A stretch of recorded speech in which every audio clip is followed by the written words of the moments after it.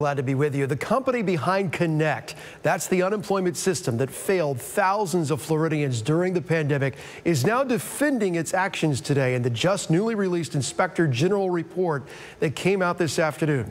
I-Team investigator Kylie McGivern has been tracking the problems and the push for accountability, and today she's digging through that new report and what the company is now saying. We pick up this story from March when we brought you the findings of the Chief Inspector General's preliminary report on the Florida Department of Economic Opportunities unemployment system. Here's a quick recap.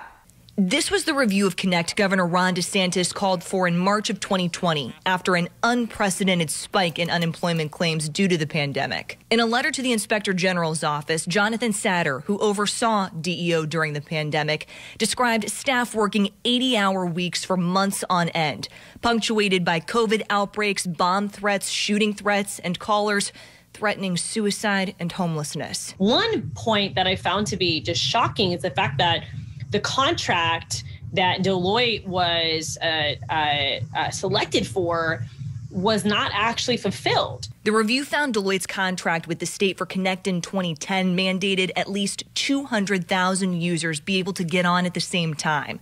But the testing was for around 4,200 users, not 200,000 as the contract required. In response to the report, Deloitte has now defended itself, saying it met the requirements of the contract for system capacity, arguing 200,000 concurrent users is different than 200,000 simultaneous users all on at the exact same time. Deloitte says the unheard of capacity would have cost the state another $10 million or so at the time. The company has told the I team they are sympathetic to the challenges some Florida residents have faced trying to access unemployment, but Deloitte finished work on the Connect project nearly six years ago after the state accepted the system. State officials have a $244 million ask to overhaul Florida's unemployment system, a request the governor hopes funding from the federal government can address.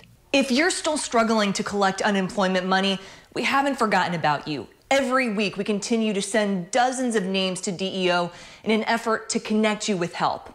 Online now, you can send us your information at abcactionnews.com slash rebound.